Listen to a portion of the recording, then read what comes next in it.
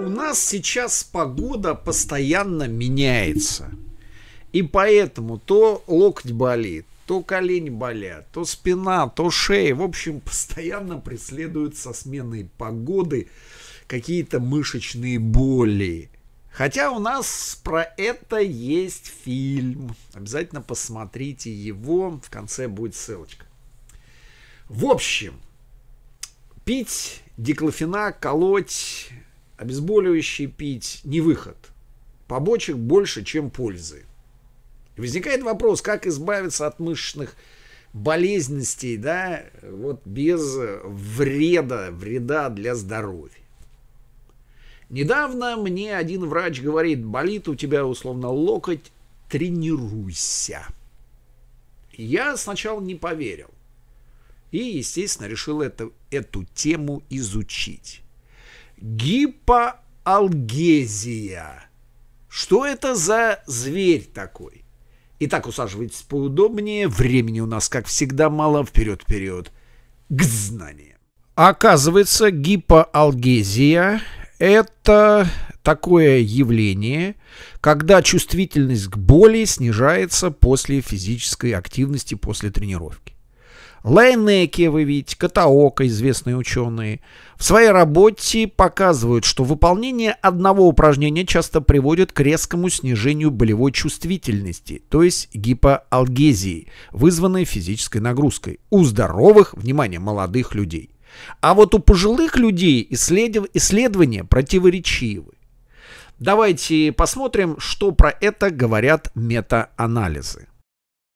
Много работ изучают гипоалгезию в результате физической активности у лиц с болью в шее. Метаанализ 23 года делает следующий вывод. Изометрические упражнения и упражнения на диапазон движения вызывают гипоалгезию в локальных и удаленных участках. Больший гип Гипоалгетический эффект, вызванный физическими нагрузками после субмаксимальных аэробных упражнений, был проявлен на удаленном участке тестирования по сравнению с локальным.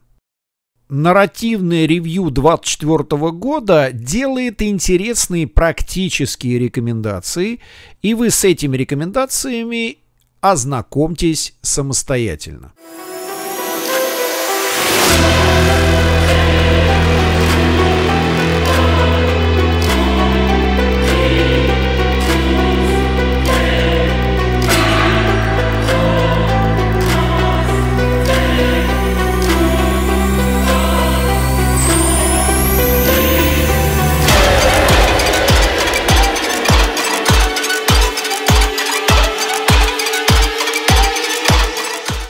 Метаанализ 24 года делает следующие выводы.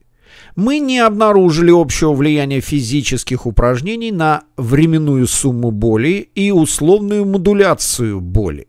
Однако наши результаты свидетельствуют о высокой вариативности исследований, а анализ подгрупп указывает на благоприятное, то есть усиливающее условную модуляцию боли, влияние упражнений на двигательный контроль у людей с хронической болью в шее. Есть работы, которые показывают, что БФР-тренинг вызывает гипоалгезию, а, вызванную, естественно, БФР, и описаны механизмы. Также некоторые работы вот даже классифицируют упражнения, и понятно, как они влияют на гипоалгезию, что нужно делать, как, в общем, соблюдать какие режимы. Ну, в общем, вы видите все на экране. Следующая тема, которую нам необходимо изучить, это гипоалгезия после аэробных упражнений. Буквально на днях выходит метаанализ по данному вопросу, в который вошло 13 исследований, вы видите. И давайте сразу перейдем к выводам. Эффект гипоалгезии, вызванный физическими упражнениями, обычно проявляется после аэробных упражнений локально и дистанционно. Упражнение с высокой интенсивностью вблизи работающей мышцы, по-видимому, вызывает наибольшую гипоалгезию. В отличие от этого, упражнения более низкой интенсивности, особенно длительные, дают незначительный эффект. Опять низкая интенсивность проигрывает, вы видите. Общее качество доказательств было умеренное. И новое исследование, которое не вошло в этот метаанализ, дополняет его. Кратковременные изокинетические упражнения на велосипеде приводят к местной и глобальной гипоалгезии. Гипоалгезия, вызванная физическими нагрузками, усиливается после 90 секунд по сравнению с 15. То есть нужно делать побольше, крутить велик. Возможно, из-за высокой экспрессии катехоламинов и сопутствующего высвобождения веществ, подавляющих боль. Вот тебе на, скажете вы, болит рука, потренируйся, если есть возможность рукой, другой рукой, ногами, и боль пройдет. Поэтому давайте экспериментировать, да, и пишите в комментах, как у вас получается или получилось после нашего фильма. В общем, если вам фильм понравился, не забываем ставить лайк и втыкать колокольчик. Воткни колокольчик, подписчик канала «Веселая наука».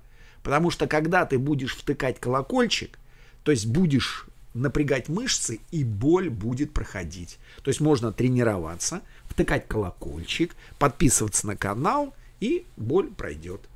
В общем, все. Пока.